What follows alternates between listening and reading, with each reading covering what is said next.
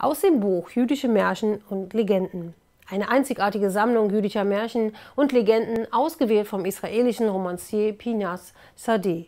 Sie verbindet die Weisheit und den Witz ostjüdischer Erzähltraditionen mit der Farbigkeit und Fabulierlust des Orients. Die Königin und der Holzhändler. Der König und die Königin saßen einmal auf dem Balkon ihres Palastes. Es war ein kalter Wintertag, der Wind wehte und es regnete stark. Da sahen sie auf der Straße einen armen Mann, der Holzpfeil bot und ausrief: Holzscheite, Holzscheite! Da sprach der König: Das Herz tut mir weh, wenn ich diesen armen Menschen barfuß und in zerrissener Kleidung sehe, während wir hier sitzen mit unseren Kronen auf den Kopf. Und die Königin sagte: Wahrscheinlich hat er keine Frau. Zornig erwiderte der König: Was soll das heißen, er hat keine Frau? Ist denn ohne Frau das Leben kein Leben mehr? Bin ich denn nur deinetwegen König? Worauf die Königin erwiderte, so ist es. Wenn du mich nicht zur Frau hättest, wärst du kein König. Der König war sehr erbost, ließ seinen obersten Visier kommen und befahl ihm, die Königin aus dem Palast zu werfen. Wie denn, mein Herr und König? fragte der Visier, sie ist doch unsere Königin. Und der König erwiderte, ich will solches Gerede nicht hören. Sie erhob sich über mich, schaffe sie mir aus den Augen. Die Königin verließ den Palast, ohne etwas mitzunehmen, denn sie war störrisch und wollte nicht um Verzeihung bitten. Und wohin ging sie? Ins Haus des Holzhändlers. Das war ein ärmliches, schmutziges und düsteres Haus. Der Mann hatte zwölf kleine Kinder, aber keine Frau. Als der Holzhändler mit einmal die Königin in der Tür stehen sah, war er völlig verwirrt. Wie war denn die Königin hierher gekommen? Er sagte zu ihr, Majestät, ich bin beschämt, euch in diesem Haus zu empfangen. Und die Königin erwiderte, ich bin zu dir gekommen und will bei dir bleiben. Ich werde jede Arbeit tun, die getan werden muss, und ich werde aus dir einen Menschen machen, sogar einen großen Menschen. Die Königin blieb im Hause des Holzhändlers, krempelte die Ärmel hoch, machte Feuer und erhitzte Wasser in einem Fass. Danach befahl sie den zwölf Kindern und auch dem Holzhändler, sich zu baden, und alle gehorchten ihr. Dann wusch sie die Wäsche, nähte und besserte Kleidungsstücke aus und richtete alles her, bis das Haus langsam Form annahm.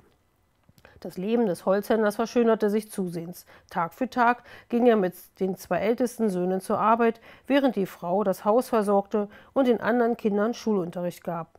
Mit der Zeit wurde das Leben immer besser, sie sparten ein wenig Geld und zogen in eine bequemere Wohnung, dann erwarben sie einen Laden, wo sie verschiedene Gebrauchsgegenstände verkauften und gut verdienten. Danach schickten sie die Kinder zur Schule und sie waren gute Schüler und erlernten verschiedene Berufe.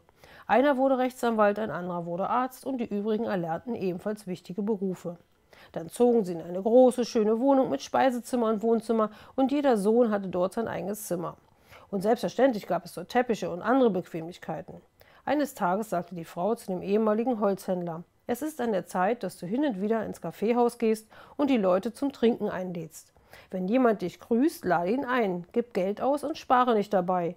Die Hauptsache ist geben. Der Mann tat wie geheißen und ging jeden Tag mit einem seiner Söhne vornehm gekleidet ins Kaffeehaus. Er lud die Leute zum Essen und zum Trinken ein und verteilte Almosen nach allen Seiten. Eines Tages bemerkte der König bei einem Besuch im Kaffeehaus, dass ihn die Bettler nicht wie gewohnt belagerten, sondern einem fremden Wohltäter große Ehre erwiesen. Der König hatte den ehemaligen Holzhändler nicht erkannt und glaubte, er sei ein reicher Wohltätiger aus der Fremde.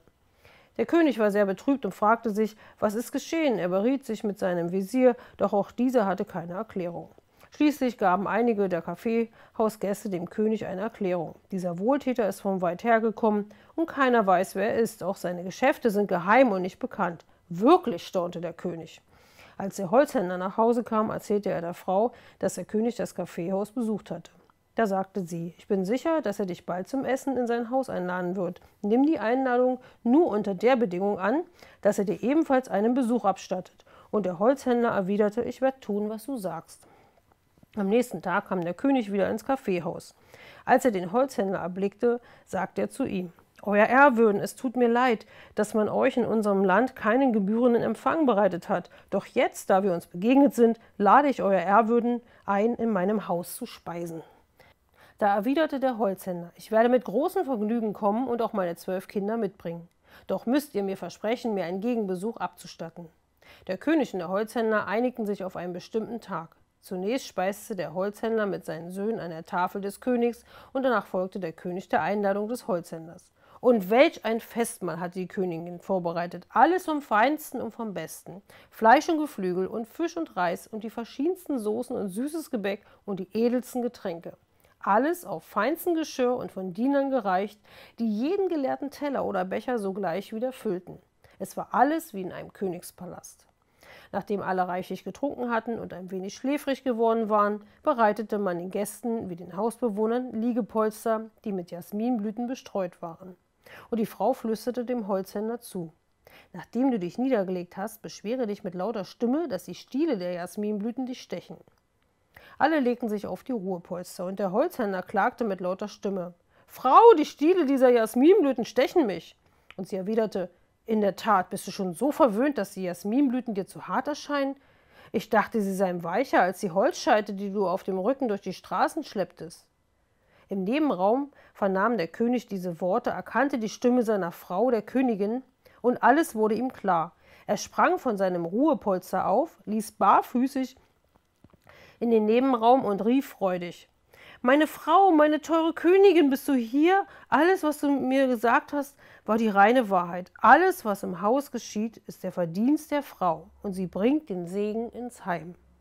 Der König und die Königin kehrten in ihren Palast zurück, sie verheirateten ihre Tochter mit einem der Söhne des Holzhändlers, und auch dieser ehelichte eine gute, anständige Frau. Und beide Familien, die des Königs und die des Holzhändlers, lebten in Glück und Wohlstand. Das ist die Geschichte von der Königin und dem Holzhändler.